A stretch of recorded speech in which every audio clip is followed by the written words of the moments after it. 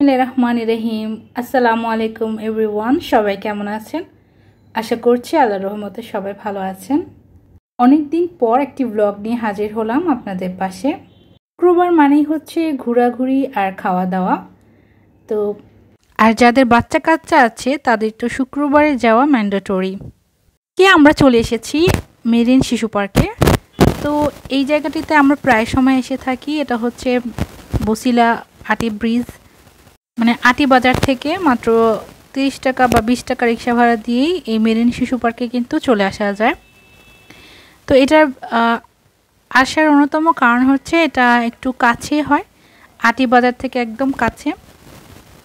আর এখানে অনেক সুন্দর ঘোরার জায়গা আছে। যেমন খেলাধুলার জন্য বাচ্চাদের রাইড আছে, তেমনই যে একটু সবুজ প্রকৃতির ছোঁয়া আছে। তো ফার্স্টে ঢুকেই দেখলাম যে অনেকগুলো পাঙ্গাস মাছ চাষ করা হচ্ছিল ছোট পুকুরটাতে। তো মেয়েটাকে দেখালাম পাঙ্গাস মাছ। ও তো খুবই এনজয় করছিল। যদিও এখানে মানে মাছের খাবার পাওয়া যাচ্ছিল না, আমার মেয়েটা মুরগির খাবার নিয়ে এসে মাছকে দিচ্ছিল আর যতবার দিচ্ছিল মাছগুলো সব একত্র হয়ে লাভ দিচ্ছিল।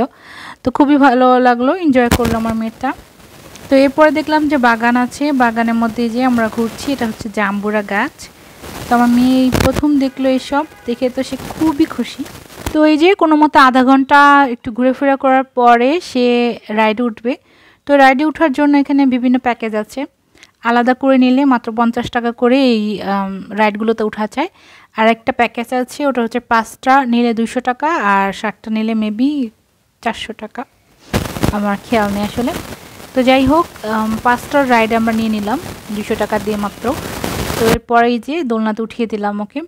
তো আমার মেয়ের এর আগেও অভিজ্ঞতা আছে এইসব জায়গায় ওঠার একা একা। তো লোকটা আসলে ভয় পাচ্ছিল আমার মেয়ে ভয় পায় কিনা। আমি বলেছি, না, অসুবিধা নেই। সে একা বসতেও পারে, নামতেও পারে মাসাল্লাহ তো যাই হোক, এই যে ট্রেনে একটু উঠতে ভয় পায়।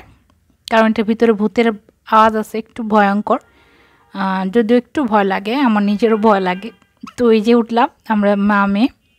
তো ভালোই লাগছে, অনেক ভালো লাগছে।